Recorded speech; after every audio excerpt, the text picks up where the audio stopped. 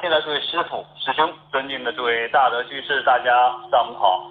现在是北京时间九点三十分，二零一六年五月九号。啊，刚才在十群与大家做了简要分享，我们接着一群。每天讲故事之前，老宋都没有提纲，没有草稿，可以说是讲到哪。算了，有的时候开始的时候啊，可能还有那么一点思路，讲着讲着讲着讲着，啊，就开始天马行空，没了主题，但是还好，都在一个脉络上，就是因果。但是干巴巴的理论，大家肯定不是那么爱听。心里会想：这些理论谁不会呀？这些理论谁不知啊？我都懂得。老宋，你忒唠叨，简直就是一个话唠。刚才的视频分享的，其实严格不是故事。就是一大堆理论，我们总不能在一群继续理论嘛？那就和大家讲点故事，讲点大家感兴趣的。大家都知道啊，这个世界上有六道，六道当中分阴阳。这个阴阳怎么分呢？可以分多种。如果以我们肉眼看得见的为阳，那肉眼看不见的那就是阴。比如说我们人和一些能看得见的动物，我们称之为阳啊。那剩下我们看不见的，就可以理解为阴。如果三善道理解为阳，那三恶道就能理解为阴。大家想想是不是？如果按享福和受苦对比的话，那天道如果是阳，那地狱就是阴。阿修罗是阳。恶鬼道就是阴，人道是阳，畜生道就是阴。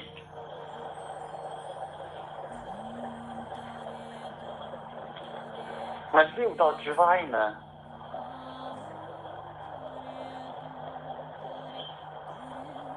佛菩萨是阳，那魔妖就是阴。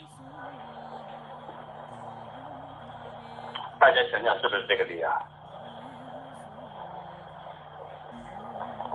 你会发现阴阳的属性也是在不断的改变。你是阴还是阳，关键看你和谁比。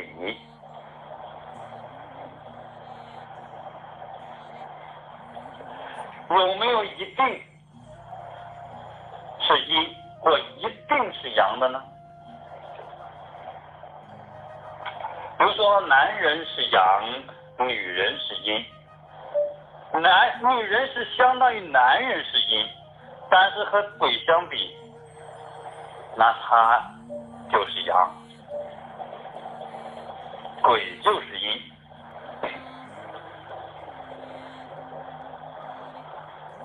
所以说我们。要学会变通，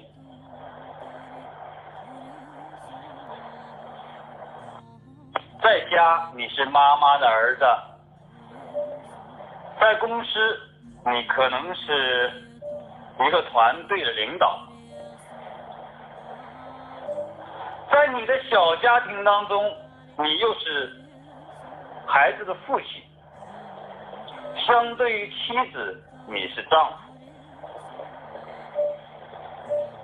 我们人生当中一直在变换着自己的角色，自己的角色在不同的环境有不同的体现。所以学东西不能死板，死板了你就执着了，执着了你就入魔了。不能再讲了，再讲又是一堆理论了，赶紧讲故事吧。既然提到魔，那就讲点魔吧。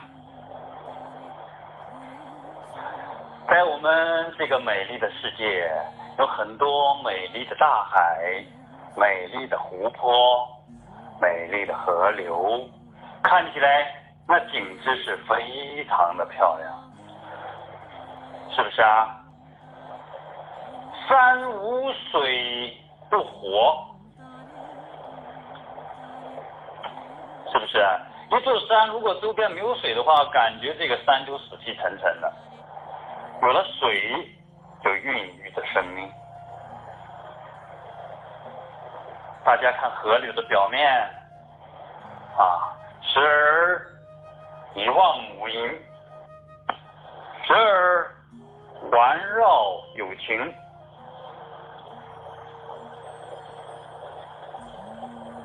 由此造就了人间许多美景，那是美不胜收，让我们。流连忘返，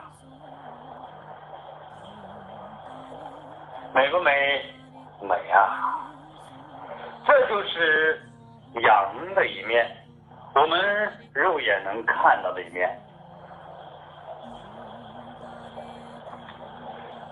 在肉眼看不到的世界，在这些河底、海底、湖底，究竟是一个？什么样的世界呢？湖面为阳，那湖底就为阴。很多很深的湖泊，阳光是压根儿到不了那里。人喜欢阳，那肯定有东西喜欢阴。鬼喜欢阴，妖喜欢阴。魔喜欢阴，那湖底究竟有没有妖，有没有魔呢？不一定每个都有，但是的确会有。在我们中国有一个美丽的地方，叫做鄱阳湖。老宋还真没去过，当然是指肉体。大家可以打开百度照片看看鄱阳湖，太美了。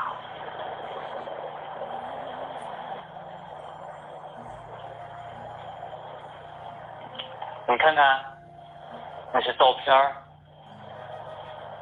那些红日，那些湖水，真令人向往啊！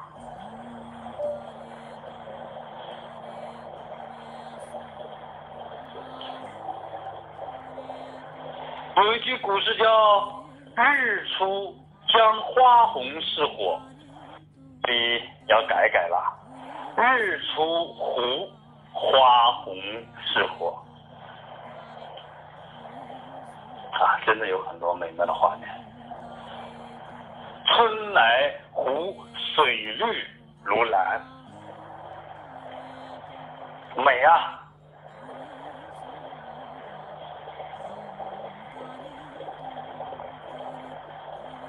但是这个湖泊曾经有很多未解之谜。为什么当时在抗日战争的时候，有很多日本兵就在这里边消失了呢？难道是湖底的龙王帮忙抗日。也有很多鸟兽在此失踪，当然也包括一些人，但人可能是少数啊，咱没见过报道，也不太了解哈。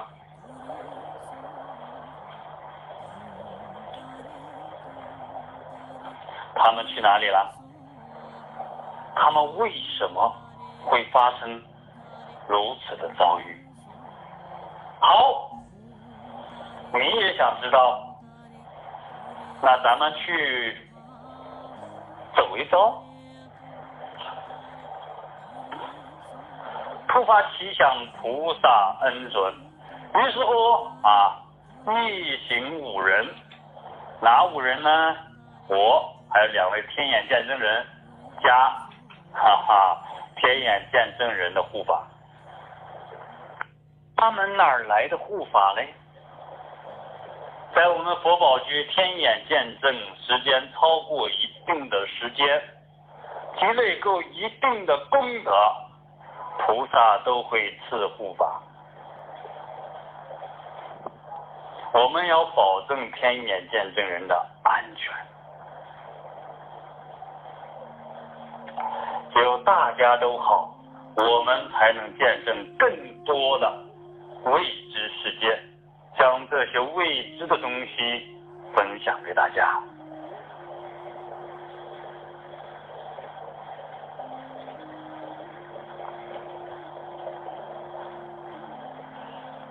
都是国内，距离并不遥远。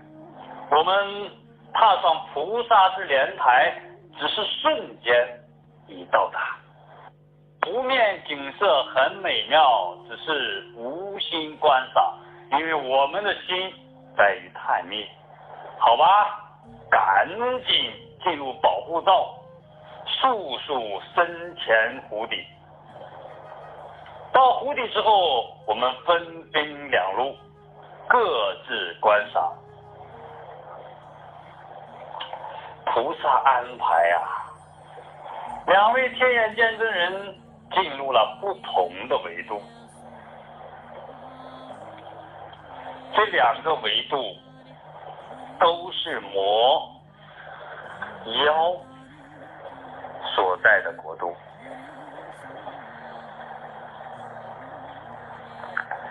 底下阴暗潮湿，这是大家能想象到的。仅仅在六维度。一名呢是在二十三维，六维的魔，他们那儿压根儿没有房屋，似乎也不需要房屋。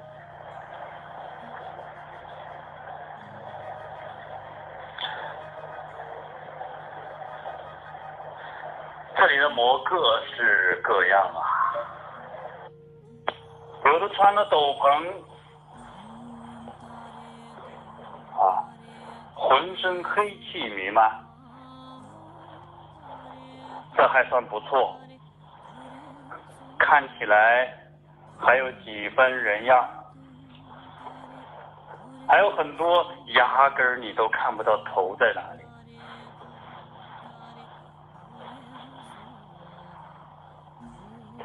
他们。各自做各自的事情。对于我们的到来，他似乎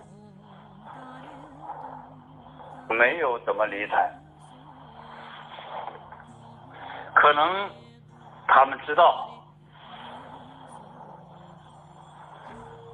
我们来此行的目的，并不是为了降妖除魔。我们在保护罩里边，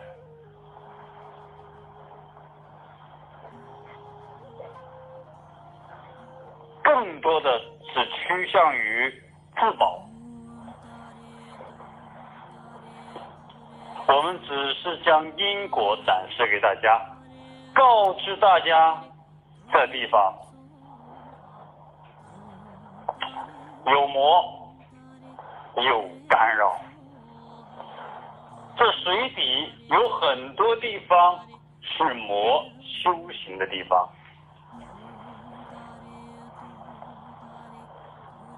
为什么那么多人被魔掠去啊？因为魔要吸食人的精气，人的精华。当这些精气精华被魔吸收之后，就会出现另外一种情况：这个人或者动物就会成为傀儡。奴隶，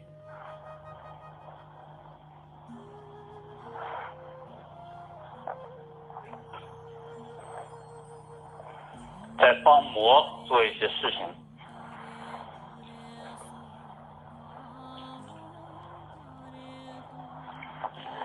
怎么样，我们才可以不被这些魔干扰呢？其实最好的办法就是不去打扰他们。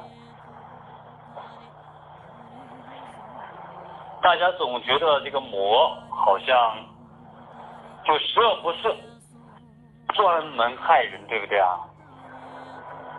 其实我们问了菩萨才知道啊，这些被吸食精气的人，前生他们。很多是欠魔的，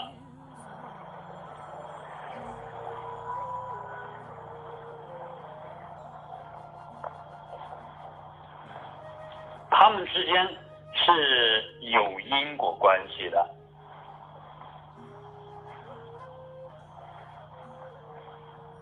当然，也有一部分啊是故意叛逆。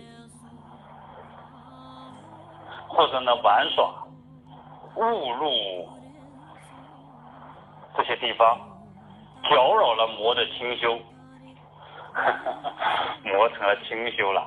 虽然用词不当，大家，你进了人家的家门，打扰到人家了，人家不制裁你，制裁谁呀？就好像一个国外人。偷渡来我国，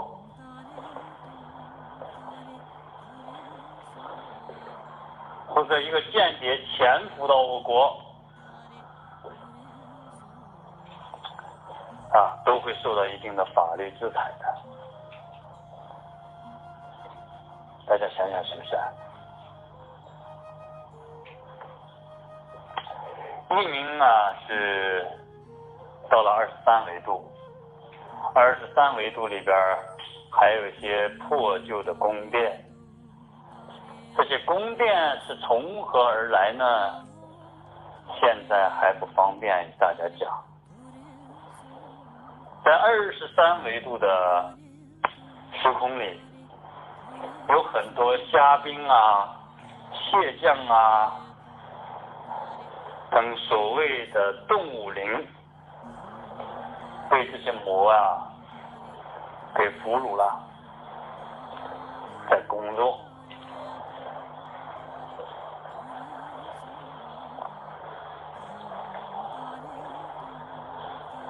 当然，大家会想，那龙王呢？啊哈，龙王当然不可能被俘虏。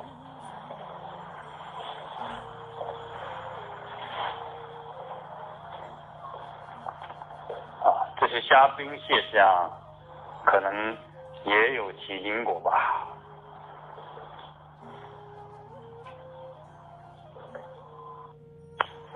三维度的魔比六维度的魔要厉害了许多。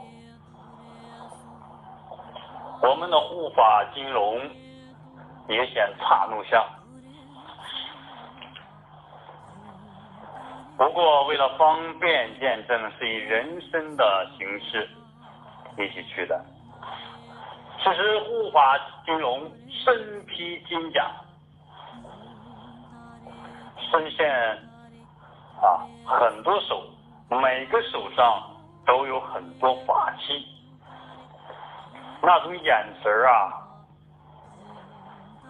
非常的凌厉，可不是聪明伶俐的伶俐啊，是老宋普通话不好，厉是厉害的厉害。我们的天眼见证人描述啊，如果这个眼神能杀人的话，这些魔已经被杀死几百次了。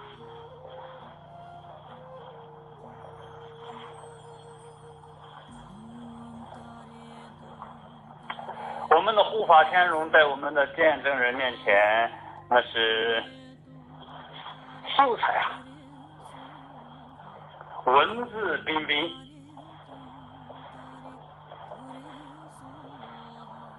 站在魔面前却英俊威武。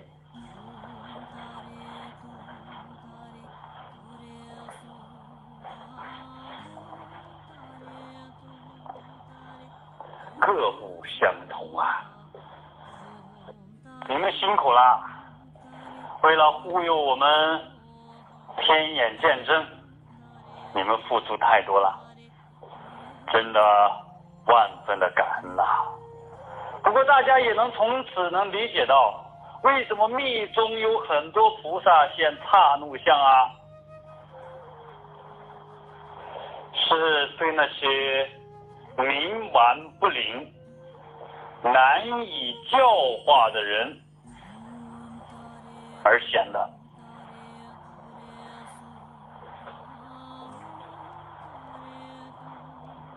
大家想想是不是？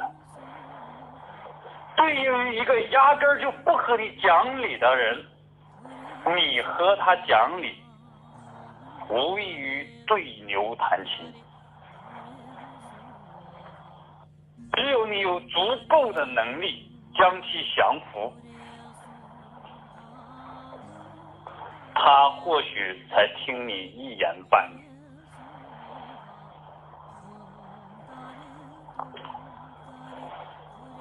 这就是像我们平时一样，你教育孩子，他压根就不听，没有办法。只能打屁股了。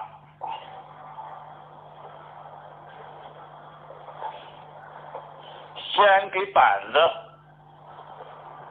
再讲道理。好了，这个时候孩子听话了。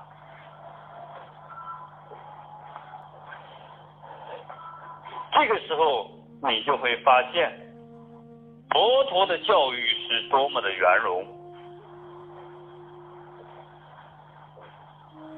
我们世间人时而强调棍棒下出孝子，时而呢又强调说服教育，不建议打孩子。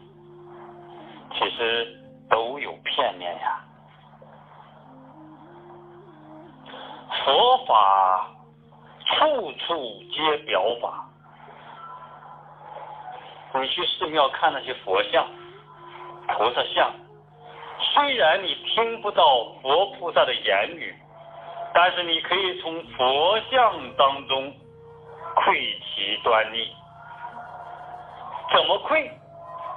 这就要靠你的用心，靠你的智慧。如果你不懂这些，你看到这些佛像，你就会心里边说：“哎呀妈呀，太可怕了！菩萨不是很慈悲的吗？我还是喜欢看观世音菩萨的塑像。”你的分别心就起来了。殊不知，菩萨现什么相，和他的内心完全无关。相是给众生看的，而其内心是在定中。因众生不同根器而显不同相，因众生不同根器而讲不同之法。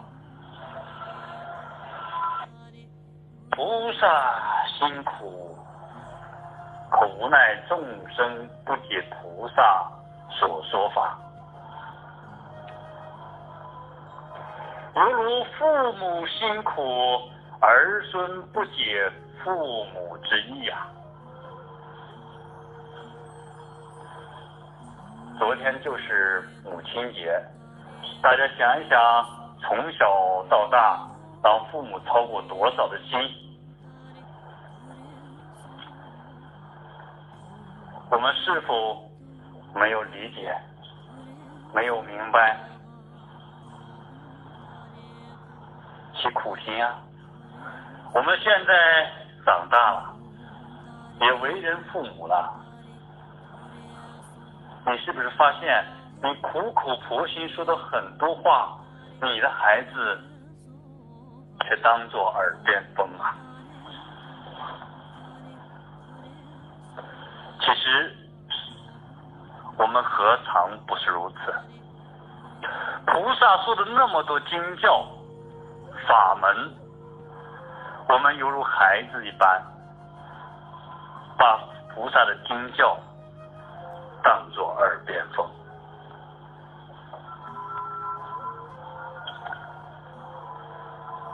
不能圆融。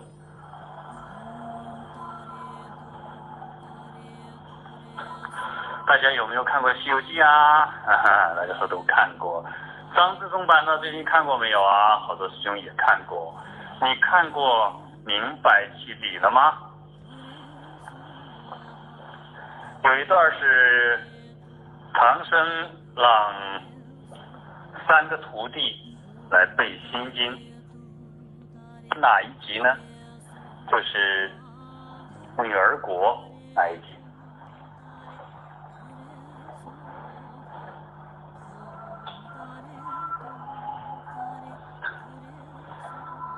猪八戒跑了，沙僧赶紧也跑，因为背不下来。大圣说了一句话，让我领会颇深。大圣说啊，知义而忘言，就说如果你能明白中文真正的深意。你这个经可以不念了，可以不背了。这就像一个病人，我们在生病的时候，医生开了这副药，当我们康复之后，这个药我们还吃不吃啊？不吃了。法门如药，经典如药。当你明白了经所讲之深意，你了解了宇宙人生的真相，这个经对你来说还有没有用？没用啊！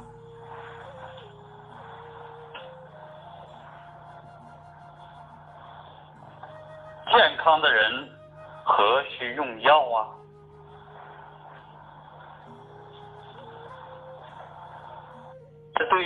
红尘中的凡夫，我们各有各自的病，我们还需要几个经典来化我们的心性，来解我们的顽疾。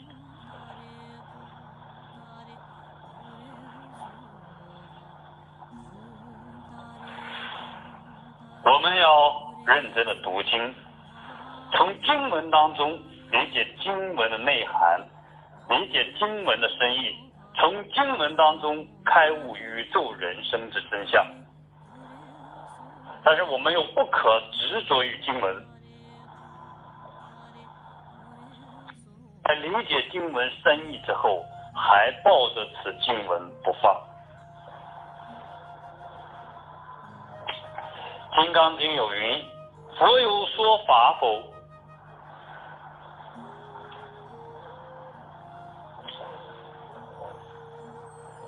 佛有告知：“佛没有说法，无一法可说。”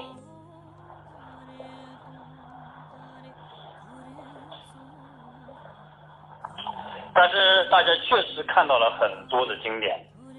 又是佛说。难道佛在自相矛盾吗？不是，是不同的语境、不同的时机，来让弟子们开悟啊！天过得好快，现在已经是北京时间十点二十二分了。今天的分享，要不就到此为止吧。说的太多，也怕大家记不住啊。说的太多，又怕成为耳边风啊！见证鄱阳湖只有短短的十分钟，但是却给我们开启了一个陌生的世界，一个未知的世界，将事实的真相展示给大家。但是菩萨体恤众生啊，告知大家，夏天了。不要去野外游泳，实在想游，到游泳馆去。能知道什么意思吗？是说呀，有魔有妖有灵存在的地方，不仅仅是鄱阳湖啊，很可能就在你的身边，只是你不知道罢了。也许。啊，不是每个人都出事可是万一嘞？